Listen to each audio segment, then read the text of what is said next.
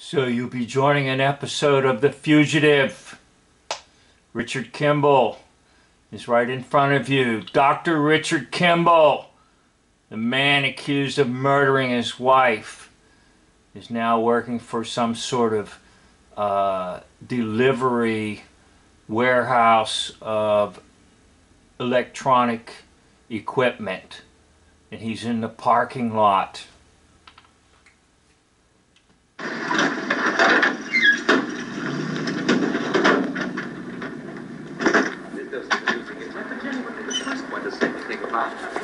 All right, I heard you. You said it. Now shut up. Look, Martin, it was just a harmless little joke. I, I didn't mean to imply that Ginny was playing around. Now look, I'm not discussing my wife with you. Listen, we're old friends. We grew up together. We're bound to run into each other once in a while. Of course, if uh, if people are going to talk, obviously we're going to have to be a little more discreet. huh?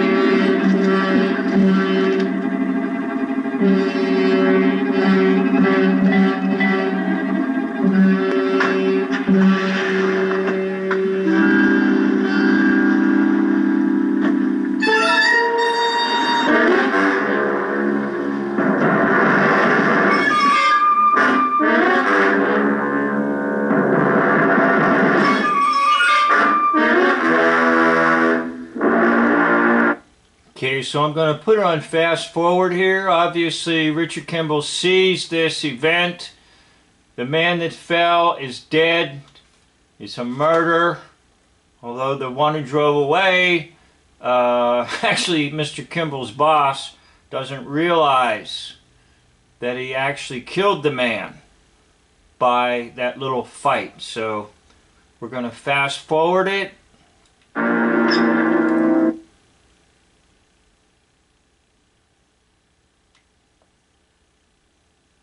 What do I do? What do I do? What do I do? What do I do? oh my gosh, I'm a doctor. No signs of life. Oh my goodness. And I'm wanted for murder. And here's a man that's been murdered. I'm getting the heck out of here. Goodbye. Now along comes Mr. Tibbet. T I B B I T. Mr. Tibbet. Who is just kind of like a an alcoholic or a, a homeless man or something, and he just sees the opportunity to uh, collect on this murder. So, Mr. Kimball, Dr. Kimball, is going to report the crime. He's not really sure exactly the status of the man, but he is dead. Okay, now he goes back to his place of work, tries to act like everything is normal, but it's not normal because he witnessed a murder. But that innocent man came along and robbed the body. He took his wallet. He took his possessions. Now, this is the store detective. Nobody's aware there's a murder yet. But he's just asking questions because he's concerned about theft in the store. And he doesn't like people that steal. So obviously this new worker, Mr. Kimball, Dr. Richard Kimball, is suspect to be possibly stealing things.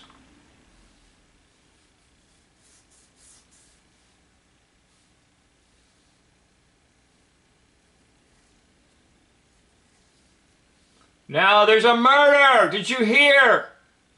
JFK has been assassinated. No, that's not the murder. Oh, we're going to watch it on TV now. The president was shot in Dallas, Texas. No, wait a minute. What's the name of the man that they think was a murderer? Tibbetts. T I B B E T T S. Tibbetts. Hmm. Oh, Mr. Kimball knows. He had no part in the killing, but police point out that he was found near the scene with Mr. Pasco's watch and billfold in his possession. Now here's a look at the weather.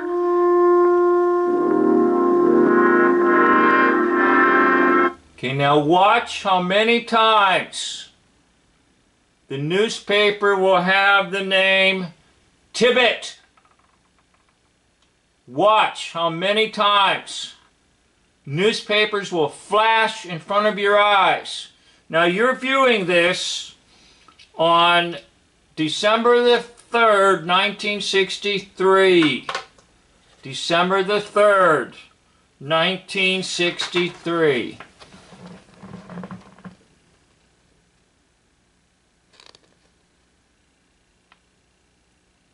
Okay, the JFK hoax was November 22nd, 1963. Now you're sitting at home, you're watching one of the most popular television shows, The Fugitive.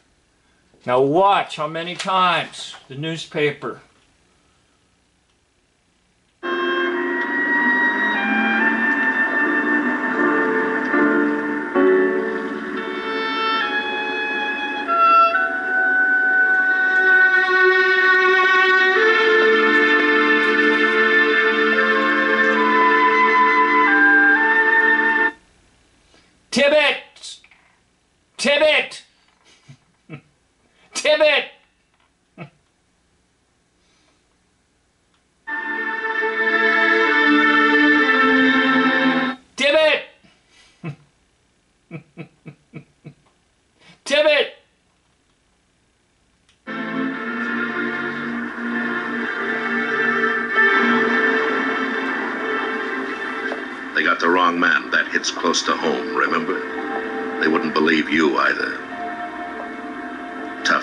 but it's no concern of yours.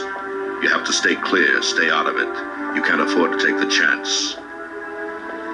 What is he, a stranger, a vagrant, a nothing? Just a name, Arthur Tibbetts, no Arthur Tibbetts! fixed address? Ask yourself, is he worth the risk?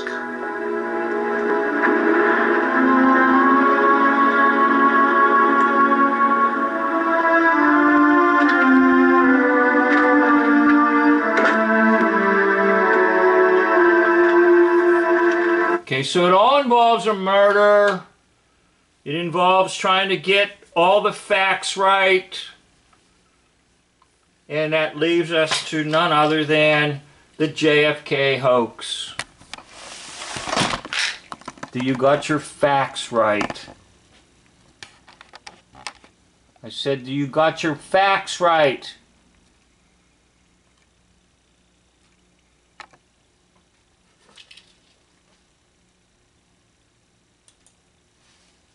Thirty miles west of Dallas. Just a few minutes before this report, we heard from one of our newsmen in Dallas on the scene, James Kerr, who said that a Dallas policeman, J.D. Tippit, was shot to death by an unknown man in a car minutes after the president and Governor Connally were shot. The officer was shot about two miles from the scene of the presidential assassination.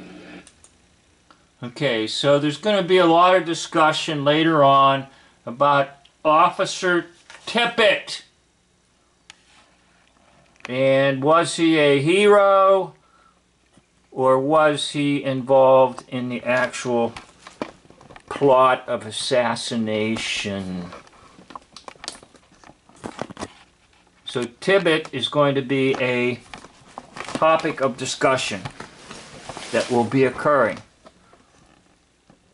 And then, of course, later on, all those who are involved in trying to get all the details of JFK assassination will bring up the name of Tippit. So what am I getting at?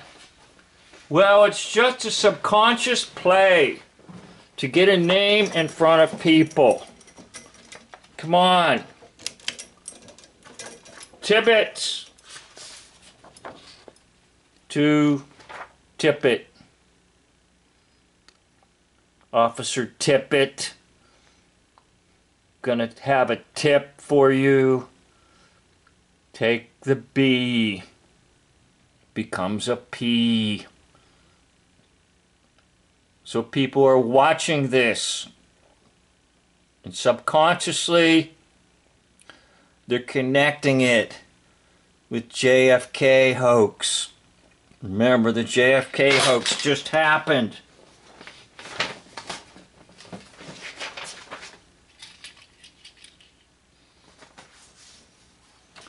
So, is Officer Tippit guilty or innocent? Was he a hero or was he in on it? Did Tippit murder a man? This homeless man, this drunk. Now, Richard Kimball, right in front of you, he knows he didn't do it. He knows that the man that stole the wallet off the body and the watch and all of the possessions didn't do it.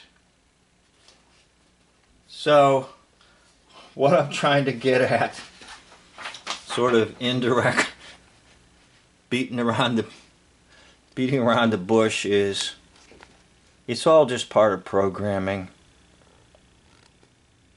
Subconsciously, Officer Tippit and Tibbet in The Fugitive.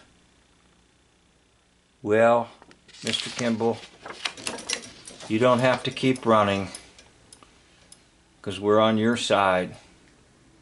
We know it's a frame job. Framing. The real guilty parties are the ones who create these stories and ingratiate them into the minds of people so that very few individuals ever pull out of the hoax lie system. I hope I've helped just a little bit to bring down the hoax lie system. Thank you for watching. End a video.